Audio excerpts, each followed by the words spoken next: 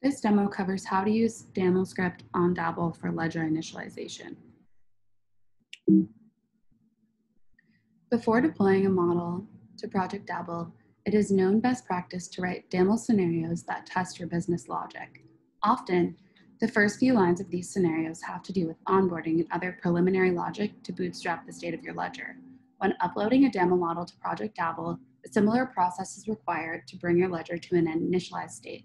However, the more complex the demo, the more time consuming this becomes. The process also can be error prone and in the worst case, force someone to have to start over on a blank ledger.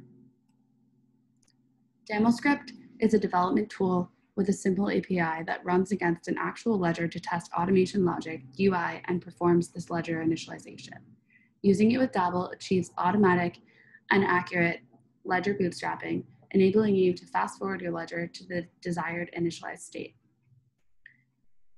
The use case I'll use in this demo involves five different parties and relationships between these parties that have to be onboarded to begin the main workflow. The operator invites a signing party who holds the keys to transfer digital tokens outside the bounds of his company. The signing party invites a compliance officer responsible for checking addresses. The compliance officer invites the desk heads. And each desk head invites a set of traders that initiate transfer requests. This nested relationship between parties is a pain to onboard, which is where DamlScript comes in handy. The simplified workflow is as follows. A trader starts with a transfer request. The desk head provides a transfer limit contract that specifies it, a size limit. If the transfer is within the limit, it gets passed to the compliance officer who checks the outbound address.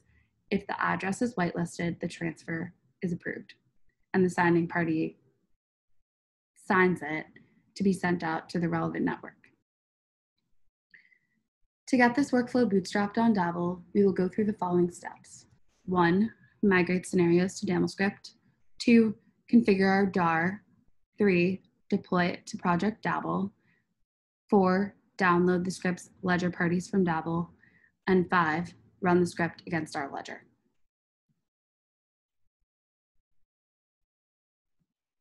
The simplest way to write DamlScript is to use pre-existing scenarios and make simple changes to them.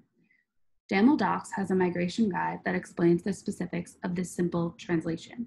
Otherwise, the Daml Docs also have a guide to writing DamlScript from scratch, which is very similar to writing scenarios.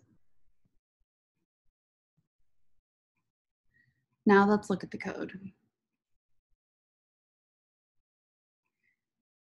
It is worth noting that if we replace the scenario code in our DAML project to DamlScript, the hash of our compiled DAR will change. To avoid this, I've created a top-level directory that contains our project, and I've created a new project with a single file for our DamlScript. This file imports DamlScript and role contracts from our initial project. I've copied our scenario code here and turned it into DAML script.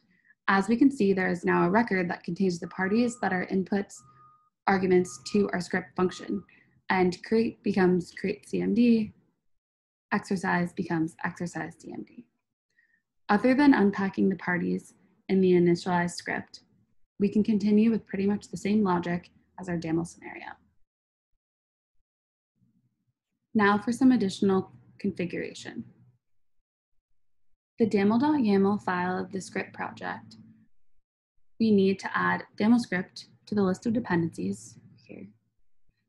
I've added the path of our original project, star, to the data dependency field here.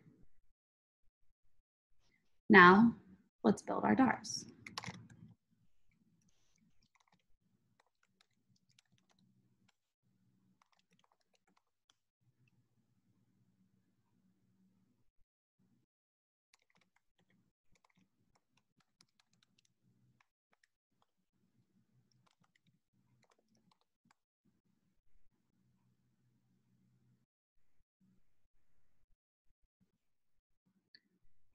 Once we've compiled both DARs, open Project DABL and create an empty ledger. Upload the original project's DAR to your ledger. Next, add the ledger parties that we specified as arguments in our DAML script to our ledger in the live data view.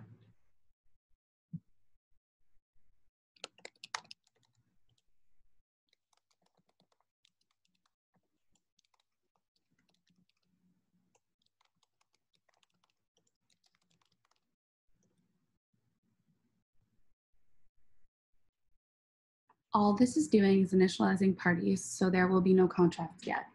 Here, it is important to use camel case so that these arguments will compile in DAML.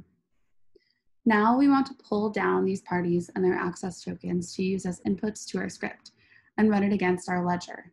DABL produces this JSON file for, for our ledger in the ledger settings tab.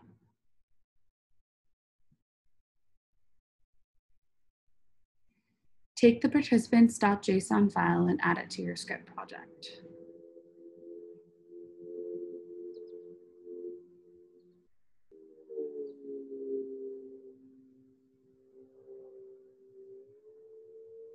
For the final step, we need to create a file named ledgerparties.json.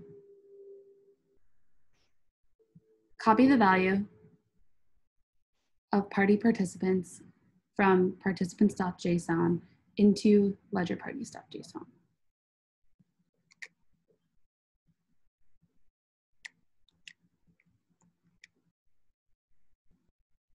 Unfortunately, the JSON here must be formatted party value, so flip the order of the key and value pair you got from participants.json.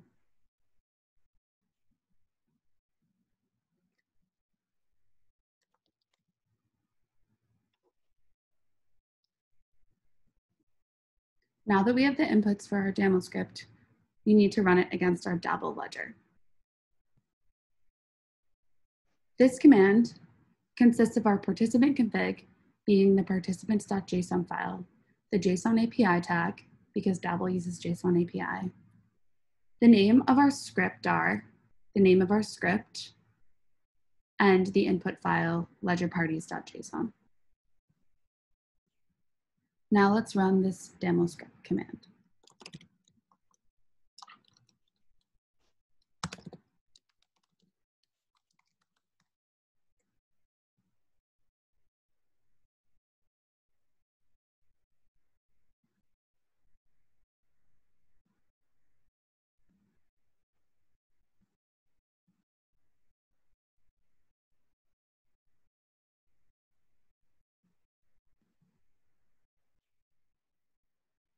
Now we go back to Project DABL, and from the perspective of the operator, we will see the contracts created by the DAML script bootstrap process.